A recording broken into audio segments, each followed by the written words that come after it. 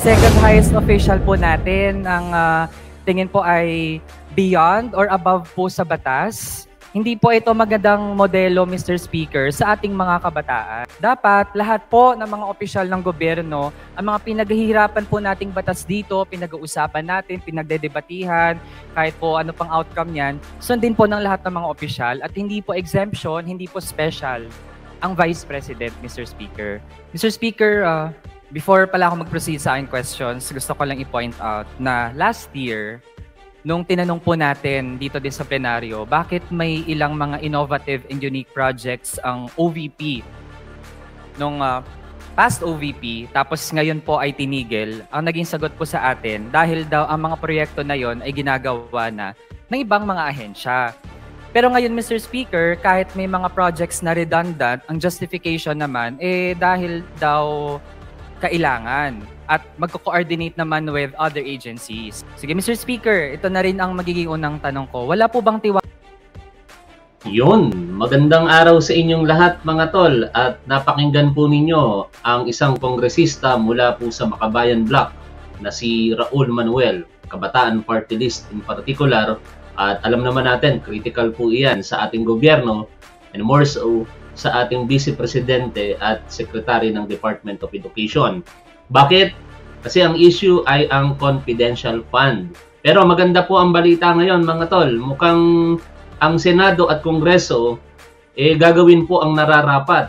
Mukhang tatanggalin po, i-reallocate ang budget na yan para po sa mga nararapat na ahensya at hindi po sa mga civilian agency katulad po ng Office of the Vice President at saka Department of Education. Maganda po itong balitang pag-uusapan natin kasi mukhang gagawin po ng Kongreso ang nararapat. Hindi naman kasi makatwiran talaga na ang confidential fund mapunta po sa mga uh, pribadong ahensya ng ating gobyerno o civilian agency ng ating gobyerno. Ito dapat ay mapunta sa mga ahensya na talagang ang task ay magngalap ng impormasyon na makakatulong po sa ating national security. Ang ginagawa po kasi ng ating Office of the Vice President ayon po sa pagtatanong nitong mga kongresista na critical sa kanya o mga kongresista mula sa Makabayan Block, eh parang redundant na daw po. Ito po ay pag-uulit lamang sa mga mandato na nakatalaga sa iba pang civilian agency ng ating gobyerno katulad po ng DSWD. Ang pag-lelend po ng assistance para po sa mga namatayan, eh kadalasan ginagawa na po iyan ng ating DSWD at ang ating local government unit. Yung mga libreng sakay, eh ginagawa na po yan ng ating Department of Transportation at iba pang mga proyekto ng Office of the Vice President na kung tutuusin, eh hindi na po kailangan pagtuunan pa ng pansin dahil nga po meron namang ahensya ng gobyerno na nagbibigay po ng ganyang serbisyo. Pero siyempre, ayon po sa sponsor at sa Office of the Vice President, yan naman daw po ay para makatulong lamang sa paglilingkod sa bayan. Eh sa parte naman ng Department of Education, sinasabi ng ating sekretary at vice presidente na si Sara Duterte, gagamitin daw po iyan para protektahan ang ating mga kabataan na hindi po malinlang ng mga komunistang grupo. Pero alam nyo mga tol, ang NTF-LCAC sa panahon po ng dating Pangulong Rodrigo Duterte hanggang sa kasalukuyan ay matagumpay na po sa kanilang misyon. Iyan po ay ang matigil ang pangangalap ng suporta at recruitment sa mga kabataan ng CPP-NTA. In fact, sinasabi po ng ating gobyerno na sa pagtatapos ng taon, tuluyan na pong hihina ang puwersa ng CPP-NTA kaya naman ang focus ng ating gobyerno ngayon ay para na po sa external threat. Kung ang mismong Office of the President, ang executive branch of the government po natin sinasabi na dapat mag-focus na tayo sa external threat, eh bakit po ang Department of Education ay pinagpipilitan pa na pagtuunan ng pansin ang mga impormasyon na maaaring makapagtulong uh, sa pag uh, pag uh, pagpoprotekta sa ating mga kabataan. Anyway, maganda po ang layunin ng Department of Education. Pero alam naman natin na yan po ay trabaho na po ng ating armed forces, ng mga intelligence unit po ng ating uniform service. Siguro ang pinakamagandang magagawa po ng Department of Education ay mas palakasin na lamang po ang paglilingkod sa bayan kaugnay po ng pagbibigay ng edukasyon katulad po ng pagpapatayo ng mga paaralan na dapat ikino-coordinate nila syempre sa Department of Public Works and Highways. O kaya naman pag uh, susumikap na mabigyan po ng sapat na pangangailangan ang mga guro po natin para makapagturo po sila ng mas maayos sa kanilang mga mag-aaral. Ba? Pakinggan po natin ang balita mula po dito sa sa UNTV. Ito ang kanilang kahandaang i-reallocate ang confidential at intelligence funds o CIF ng ilang ahensya ng gobyerno Ayon kay Senate President Juan Miguel Mig Subiri, napagkasunduan ng Senado na ilipat ang CIF mula sa civilian agencies na hindi naman kailangan ng pondo patungo sa intelligence community katulad ng Philippine Coast Guard at Armed Forces of the Philippines. Isina- Nakalulungkot kasing maisip mga tol, katulad po ng Philippine Coast Guard, na ito pala ay napakaliit lamang ng kanilang confidential fund sa mga nakalipas po na panahon. Ayon po sa shared photo nito pong si Gay Tariela, ang spokesperson po ng Philippine Coast Guard, ito lamang po oh, mga tol, ang kabuang budget na nakuha po for the period of 17 years ng Philippine Coast Guard Simula po noong 2006, nakakuha lamang po sila hanggang 2023 ng total of 118 million 725,000 for their intelligence fund. Tapos malalaman po natin ng isang pribadong ahensya ng ating gobyerno, meron pong higit na mas malaki sa intelligence fund ng Philippine Coast Guard. At ang pinakamasakla pa dito, hindi naman po ito paninira, dahil ito naman po ay kanilang inamin. Either 11 days man yan or 19 days, napakabilis pa rin panahon po yan para maubos ang 125 million pesos. Kaya ngayon, na-recognize na po ito ng ating Senado, una, at kanila pong ire-reallocate po ito sa mga nabanggit po na mas nangangailangan ng intelligence fund. Sana lamang po mangyari talaga ito kasi kung puro salita lamang ang nababalitaan natin ngayon, eh hindi rin po ikatutuwa ito ng taong bayan. Marami na pong nagagalit sa pangyayari na yan at nadadamay na nga ang ating mahal na Pangulong Bongbong Marcos at sana naman gawin po ng Kongreso ang nararapat para po sa pondo ng bayan. Sa alang-alang din ng kasamang hiling na confidential funds ng Office of the Vice President at Department of Education, sinabi ni Senator Subiri na kanilang susiriin ang lahat ng ahensya ng gobyerno. Samantala, inihayag naman ni Senate Majority Leader Joel Villanueva na posibleng magkaroon ng probisyon sa 2024 national budget na maghihigpit ng requirements para sa mga ahensyang humihiling ng CIF. Yan. Tama yan, ano? At sana talagang higpitan para hindi basta-basta na itong mga pribadong o civilian agency ng government ay hingi lang ng hingi ng confidential fund. Eh dumako naman po tayo sa Kongreso. Nakatutuwa din na ang mga political parties po diyan, nagkasundo sila na i-reallocate din po ang confidential fund mula po sa civilian agency patungo po sa mga nangangailangang ahensya talaga ng ating gobyerno. President Juan Miguel Subiri. Oh, natata- dito pala, dito. Leader ng political party sa House of Representatives na reallocate ang confidential and intelligence funds sa mga ahensyang pangunahing responsable sa intelligence at surveillance dahil sa tumitinding security threat sa West Philippine Sea.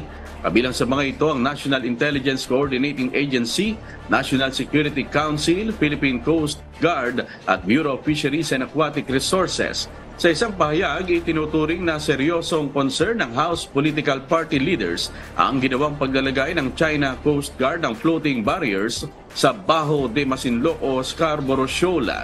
Nakikita nyo ang kinakaharap na problema po ng ating uh, gobyerno diyan po sa West Philippine Sea in particular. Kaya dapat palakasin pa rin talaga ng ating gobyerno ang mga ahensya na binanggit para po sa information gathering na makakatulong po sa pagprotekta sa ating national security. Ito po ay ang NICA, yung National Intelligence Coordinating Agency. Ito po ay ahensya ng ating gobyerno na primarily task para po mangalap ng intelligence Ang intelligence sa madaling paliwanag, ito po yung mga prosesong impormasyon na makakatulong po sa ating decision making, partikular ng ating mahal na Pangulo.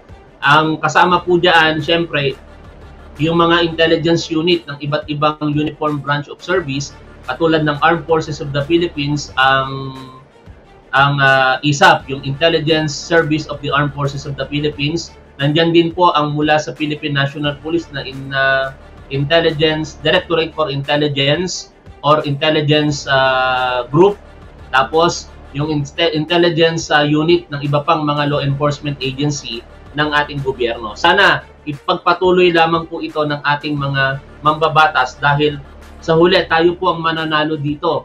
Ang ginagawa naman po ng Office of the Vice President ay sa katunayan, yan po ay nakikita na po natin sa ibang mga ahensya ng ating gobyerno. At saka sinabi na din naman, no other than the Vice President, na they can live without confidential fund. At kaya naman daw po nilang i-perform ang kanilang mandate nang wala pong confidential fund. Sa katotohanan, lumipas na po ang napakaraming Vice President nagawa naman po nila yung kanilang mandato kahit nakalaban pa ito ng nakaupong presidente. Eh nagagawa po nila yung kanilang mandato kahit limitado po ang kanilang budget. Kaya sana wag pong masayang sa mga susunod na pagkakataon ang tinatawag na confidential fund. Mangyayari lamang po ito kung ito po ay ma-allocate properly sa mga deserving agency ng ating gobyerno. Ngayon, maaaring magalit kayo dito po sa ipapanood ko sa inyo. Hindi po ito usapin kung siya ba ay komunista, kung siya ba ay left-leaning congressman, kung siya ba ay busit na busit kayo. Ito po ay dapat nating itatak sa ating isipan sapagkat ang mga katanungan na ito ay nag-e-expose sa atin kung ano talaga ang dapat. O, maaaring hindi kayo mag-agree ngayon sa i-share kong video, pero ako humihingi ng paumanin sa inyo sapagkat I find it more more comprehensive nang sa ganun mas malaman po natin yung mga nararapat na puntahan ng ating pondo. Panoorin natin ngayon ang kinaiinisan nyo na si Raul Manuel sa kanyang pagtatanong sa budget deliberation kahapon diyan po sa Office of the Vice President. Sa kakayahan ng mga departments to perform their mandate, kaya kailangan gawing redundant ang mga proyekto. Sir Speaker, Your Honor, on contrary, the Vice Pre- Office of the Vice President is supportive to all agencies of the Executive Department. And in fact, It supports it supports all the programs and projects of the executive department and by having several programs under the office of the vice president does not mean na walang tiwala ang office of the vice president. In fact, it's working as complementary to whatever the offices of these depart of these departments from the executive agents executive department is um, doing. Sir Speaker, Your Honor. Which means, Mr. Speaker, hindi po consistent ang OVP sa kanyang uh, reasoning when it comes to uh, deciding which projects will be continued, which projects will be implemented, at alin naman ang mga bagong uh, gagawin pa ng OVP. Mr. Speaker, on uh, satellite offices, can uh, the sponsor confirm na immediately nag-establish ang OVP ng satellite offices without enough equipment to operate ang uh, mga yan, facts po yan. Hindi po yan gawa-gawa lamang ng left-leaning congressman na ito. Alam naman natin na nung naupo po si Vice President Sara Duterte, ang daming satellite offices na itinatag ng Office of the Vice President. Ang layunin, tumulong sa ating mga kababayang Pilipino.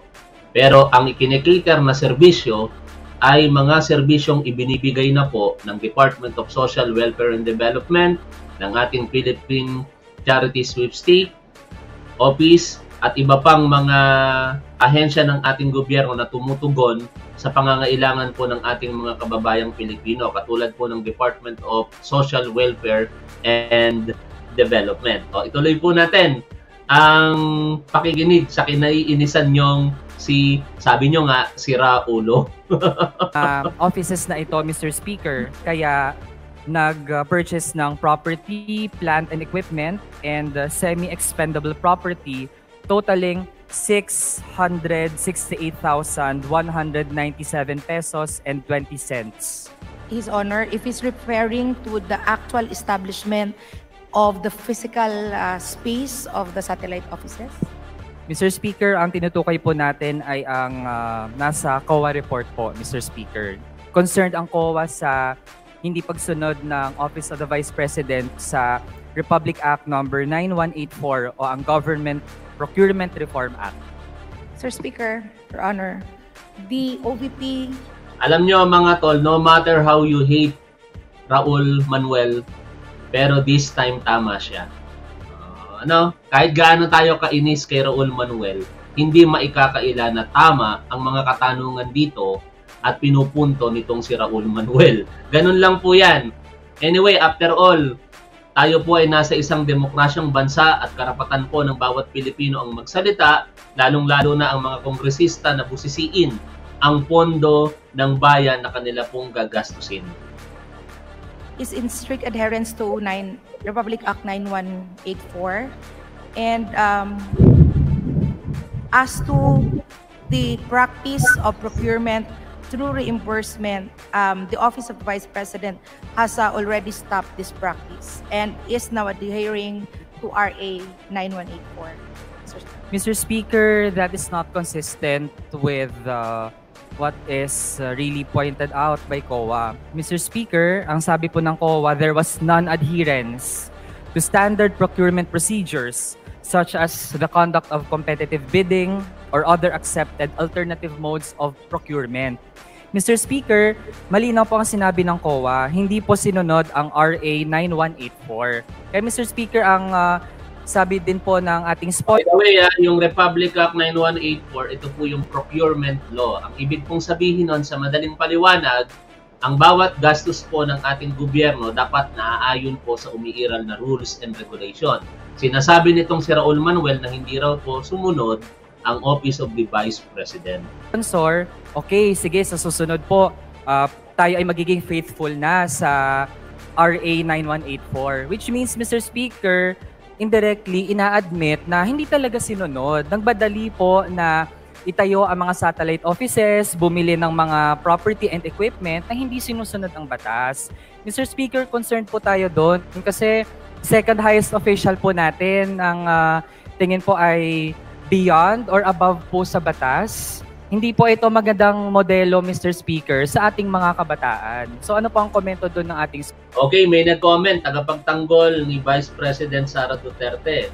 Hindi ko naman alam kung ito na talaga ang updated version, ano? Sabi niya, hoy, panis na yung marites mo. Hindi po ito marites, katotohanan po yung ipinapakita po namin sa inyo. Na-approve na sa plenaryo ang 2024 budget. So what kung na-approve? Ang tanong, kung tutuparin ng mga kongresista ang reallocation ng budget. Yun ang mahalaga eh. Kahit na aprubahan pa yan, kung ni-reallocate naman ng budget, di maganda, pabor na pabor para sa Pilipino. Nagtataka lang ako sa inyo bakit nyo pinagpipilitan na bigyan ng confidential fund si Sara Duterte. Hindi ba kayo nagtatanong, pera ninyo yan, nagbabayad kayo ng tax, 125 million pesos, inubos lamang ng Office of the Vice President sa loob lamang ng 11 days. sponsor. Sir Speaker, Your Honor, I think His Honor is referring to COA uh, AOM. And for emphasis, the AOM or Audit Observation Memorandum issued by COA is part of audit process and its preliminary issuance to clarify certain matters and to require comments or submission of the of documentary and other information requirements. Again, it's preliminary and can be rectified by agency concerned. And the OVP has been strictly adhering to the comment of the COA's AOM. Uh, Mr. Speaker. Okay? Mr. Speaker, Mayor. ang Total, gusto ng updated version eh, i-share natin ang balita. Dito natin malalaman kung may isang salita ang mga kongresista na i-reallocate ang budget ng confidential fund sa mga dapat na tumanggap nito. O tingnan natin ha kung may isang salita itong mga kongresista na ating pong binoto at mga senador na ating pong binoto. Ayon po dito sa balita, House approves 5.768 trillion budget for 2024. Balit basahin po natin. Manila, the House of Representatives on Wednesday approved on the third and final reading the proposed 5.768 trillion national budget for next year with a 296 to 3 vote with no absten abstentions. Mukhang yung tatlong bumoto, isa diyan si Raul Manuel sa kayong dalawang Makabayan Black Congressman na si Arlene Brosas at saka ito pong si Franz Castro. Speaker Ferdinand Martin G. Romualdez said, The timely passage of the 2024 General Appropriations Bill or GAB just before Congress adjourns for a month-long break not only demonstrated the commitment of the House to upholding its constitutional role, but also underscored its dedication to serving the Filipino people with transparency and accountability. Pursuing the constitutional requirement of transparency, the House of Representatives has to shepherd the National Expenditures Program no matter the rigors and challenges along the way. These include difficult discussions on the confidential and intelligence funds, which the House successfully steered toward a healthy and vibrant exchange. Romualdez lauded his colleagues for underscoring and evaluate the nature and use of these funds and correct any mix-ups and ally public concerns regarding this issue. Earlier, the House leadership decided to reallocate confidential and intelligence funds originally designated for non-security departments to bolster security efforts in the West Philippine Sea. A significant portion of these funds will now support. O, yun naman pala. Yun ang katotohanan. Ano? Kahit paano, hindi na buong makukuha siguro ng Office of the Vice President ang 500 billion ang 500 million pesos confidential fund at 125 million pesos confidential fund para naman po sa Department of Education. Tuloy ko lang ang binabasa ko ha. A significant portion of these funds, how much kaya yon? Mamaya baka makita natin sa breakdown. Okay, nasa na ba yung binabasa ko? will now support the National Intelligence Coordinating Agency and the National Security Council organizations responsible for intelligence activities and national security coordination respectively. Additionally, the 2024 budgets for the Philippine Coast Guard and the Bureau of Fisheries and Aquatic Resources will be increased to enhance surveillance capabilities in the West Philippine Sea. This decision was jointly announced by leaders of political parties, including Rizal 1st District Representative Michael Duwabit, President of Nationalist People's Coalition, among others. Romualdez said, the approval of the 2024 GAB also stands as a testament to the House commitment to the welfare of the Filipino people. Sabi po ni Speaker Romualdez, tiwala ako na hindi lamang makakatulong ang pinasa nating budget para mabut mapabuti ang kalagayan ng mga Pilipino. Susi rin ito para magpatuloy-tuloy ang ating pagbangon tungo sa mas magandang kinabukasan. Ngayon, tingnan po natin kung nandito yung breakdown. Ano? Agenda for Prosperity, but unfortunately, parang hindi natin makikita yung mga particulars. Tingnan natin. Basahin po natin, tiyagain po natin ito.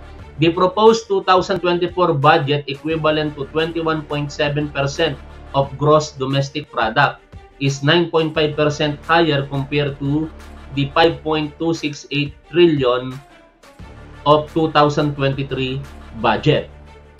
Anchored on the theme Agenda for Prosperity, Securing a Future-Proof and Sustainable Economy, Pangandaman said, The proposed national budget is framed based on the 8-point socio-economic agenda and will continue to support the goals of the Philippine Development Plan 2023 to 2028 of securing a future-proof and sustainable vibrant economy.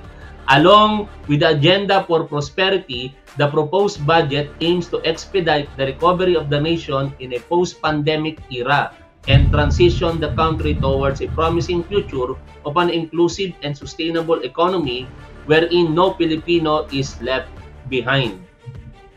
The, the social services sector composed of health, education, culture, and manpower development as well as social security welfare and employment among other social services will receive the largest allocation of 2.183 trillion or 37.9% of the total proposed national budget. This represents an increase of 178.7 billion or 8.9% over the 2023 budget. The education sector received the largest allocation at 924.7 billion, excluding funds for the universal access to quality tertiary education program, textbooks, and feeding programs. The Department of Education sees a 5.37% increase to 758.6 billion. Pero so far, hindi po natin nakikita dito yung detalyadong pondo para po sa Department of Education. Kung yung 125 million pesos ba ay nabawasan na o nananatili pong ganong halaga. The economic sector, the economic services sector which covers communication, roads and other transport, agriculture and agrarian reform as well as trade and industry will account for 1.709 trillion or 29.6% of the total proposed budget. The Department of Public Works and Highways gets 822.2 billion. Agriculture receives 181.4 billion. The Department of Health gets 306.1 billion. Meanwhile, General Public Services will receive 893.3 billion. Unfortunately, hindi pa po natin mababasa dito sa balita na ito yung tungkol sa specific ng confidential fund ng Office of the Vice President as well as the Department of Education. But we trust that the Senate and the Congress will keep their promise. Ano ba ang pangako ng Kongreso at saka ng mga senador?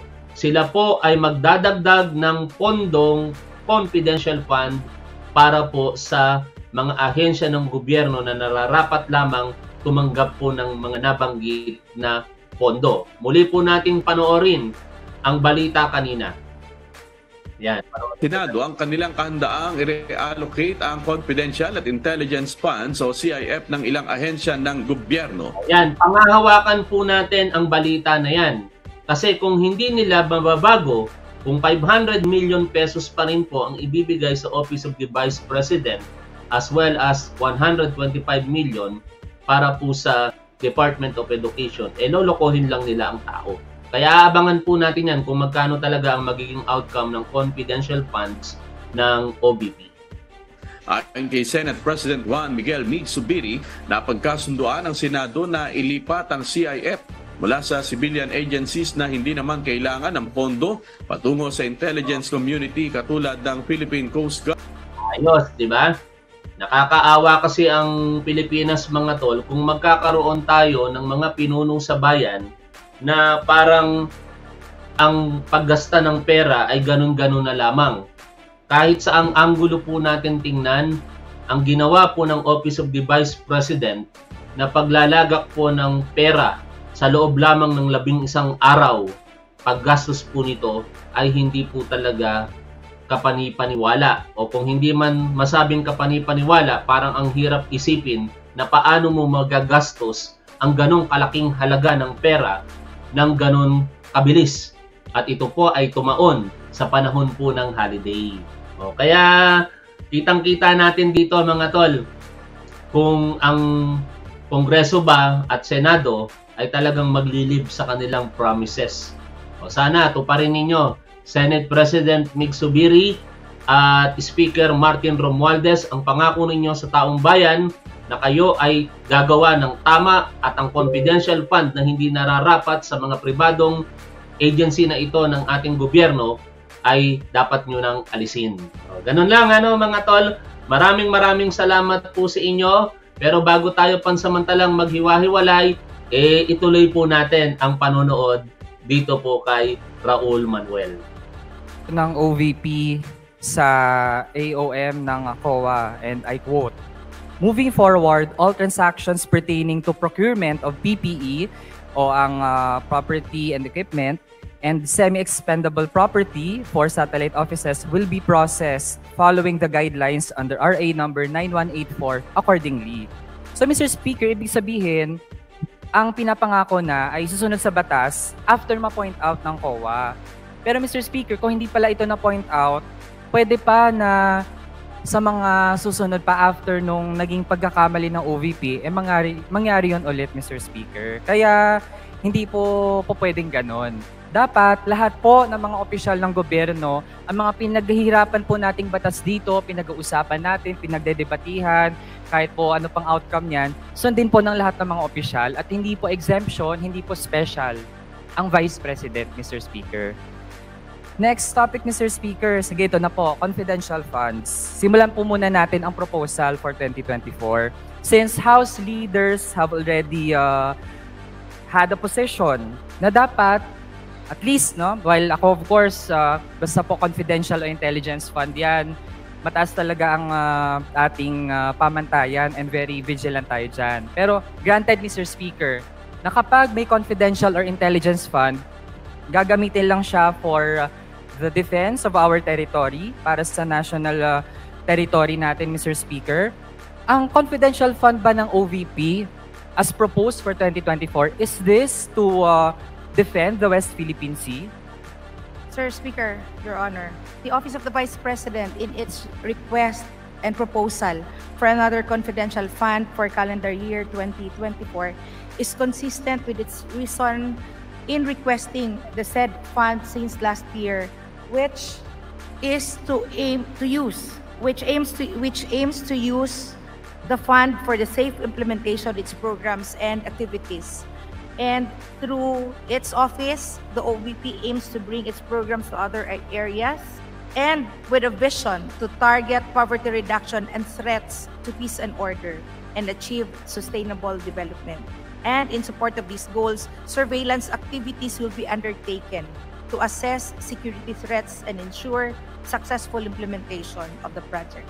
Mr. Speaker, Your Honor. Mr. Speaker, from that long response, ang makuha po natin doon, hindi.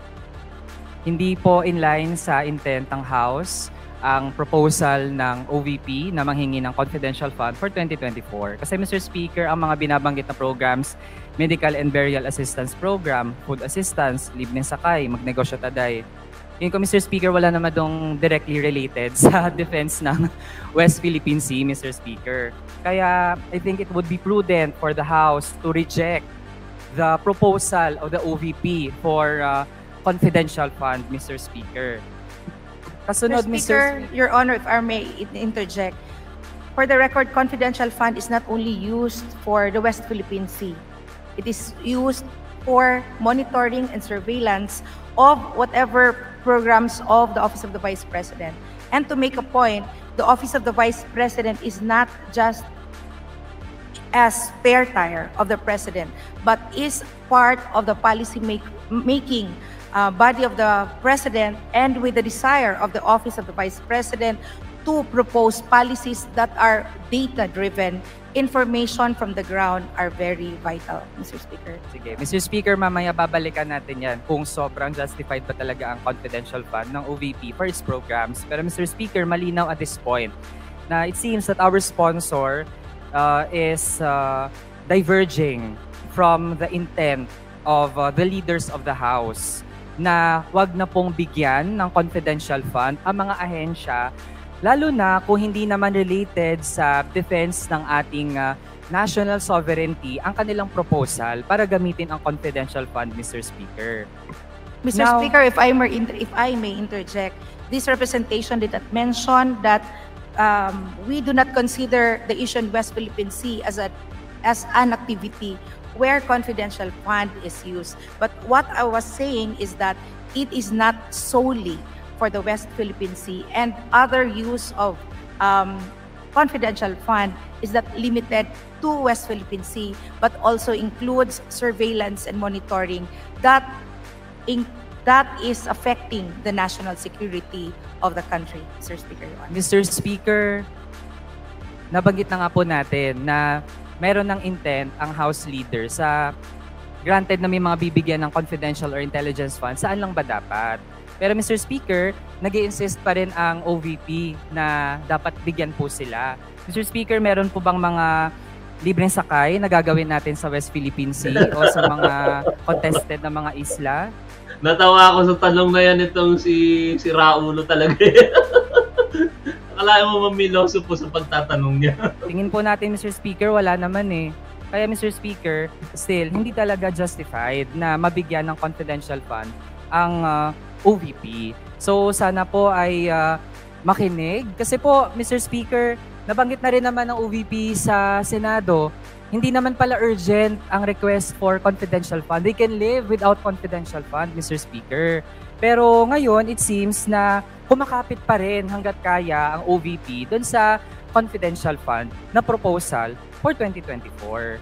Kaya Mr. Speaker, para matasa natin kung okay ba ang proposal for next year, check po natin yung ngayon, Mr. Speaker. For 2023, nakapagpasa ba ng accomplishment report ang OVP quarterly sa atin sa House of Representatives uh, regarding the outputs ng paggamit ng confidential fund? Yes, Mr. Speaker, I have already answered that earlier. So, Mr. Speaker, ibig sabihin po para sa libreng sakay, Akala ko maraming supporter na nanonood dito si Vice President Sara Duterte but it appears sa ginawa po nating poll mga tol, tingnan nyo ah, sa poll na ginawa po natin, eh meron lamang 56 na bumoto. Iboboto mo ba si Vice President Sara Duterte sa 2028 sa pagka-presidente? So parang sumasagot ng yes, 25% lamang at 75% ang ayaw kay Vice President Sara Duterte. po ng confidential fund para magamit po ang uh, funds for the Libre Sakay program effectively. Paano po yan, Mr. Speaker? Ang mga sumasakay ba, ini-screen yan kung mga former rebels sila o mga lawless elements sila? Ganun po ba, Mr. Speaker?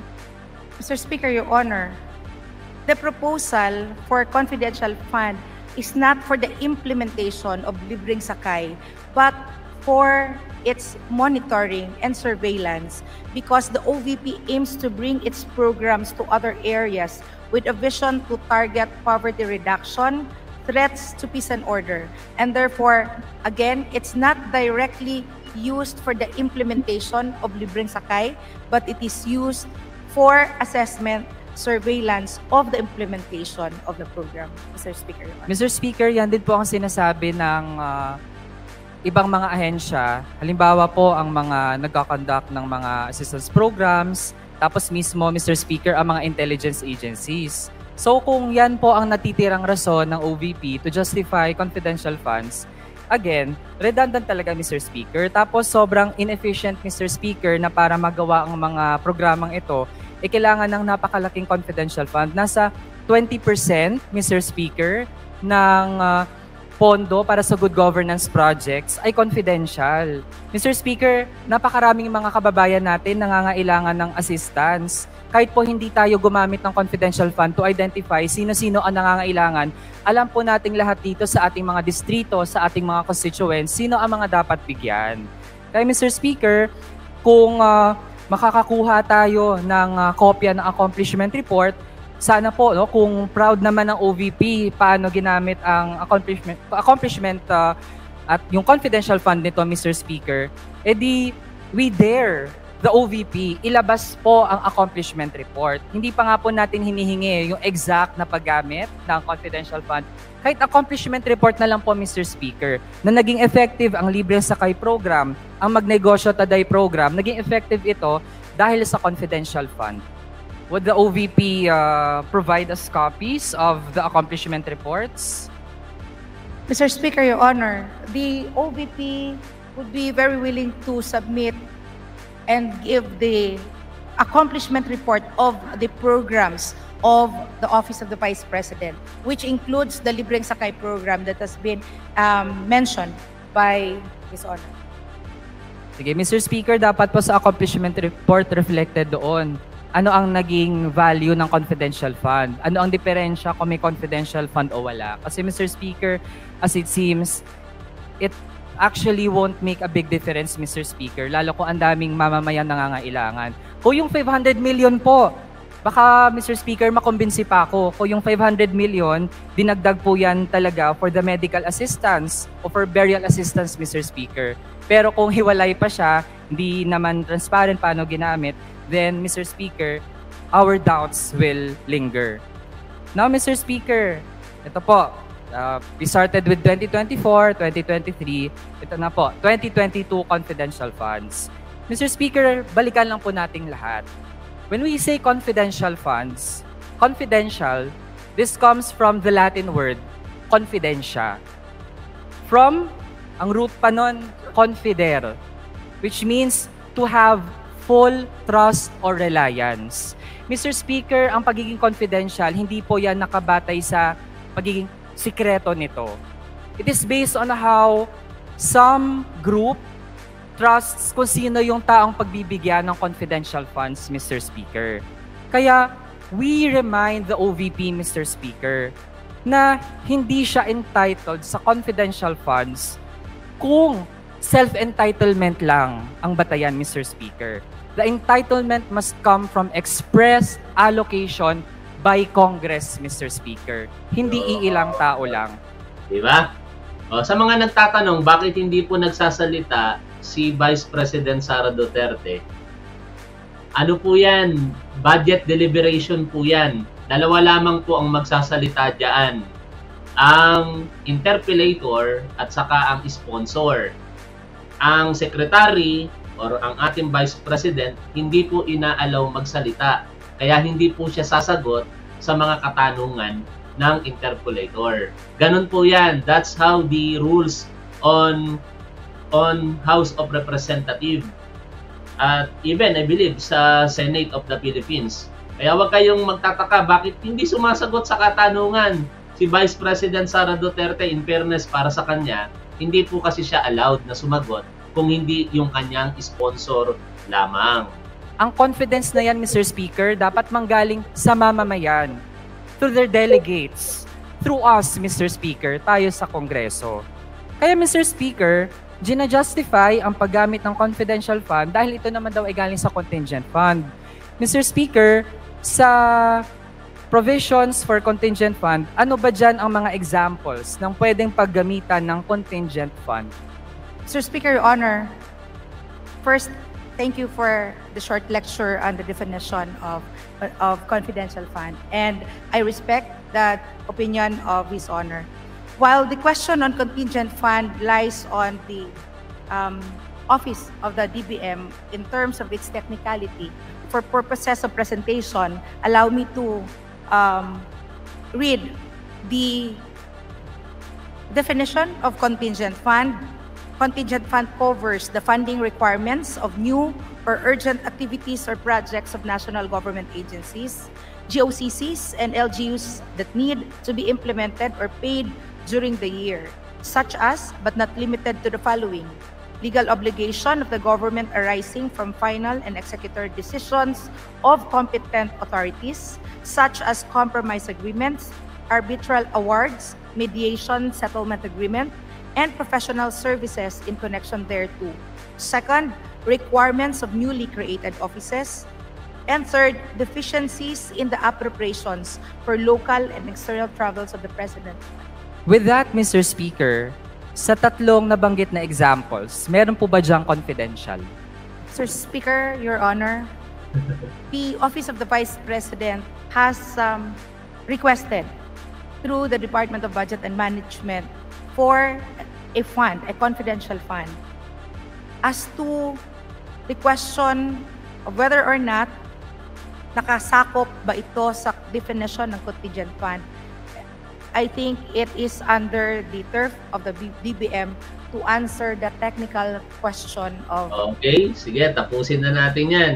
Anyways, announcement ha, yung isang page po natin ay 97,000 followers na. Magiging 100,000 followers na po yon maybe next week. Kapag ka umabot na po ito ng 100,000 followers, nagbitiw po ako ng salita, nangako ako na magbibigay po tayo ng 10,000 piso. Hindi po ako si Senator Cayetano na hindi tutupad sa pangako. Kaya ang gagawin po natin sa page natin na yon, pagkatapos ng ating topic, saka po tayo mamamahagi ng tig 500 pesos sa mga manonood po nating mapipili, dalawang po, sila kasi 10,000 pesos po yon. Abangan nyo lamang po yan maybe next week. At uh, hopefully bumagal muna yung pagdami ng followers natin kasi dapat mga sasahod na mga before the end of October. Kaso lang baka hindi ko mapigil eh 97,000 followers na tayo ngayon eh. Kaya probably baka by next week 100,000 na yan. At sana manood kayo sa top 1 Facebook page yung 97,000 followers ngayon pag nag 100 doon po tayo magpaparapol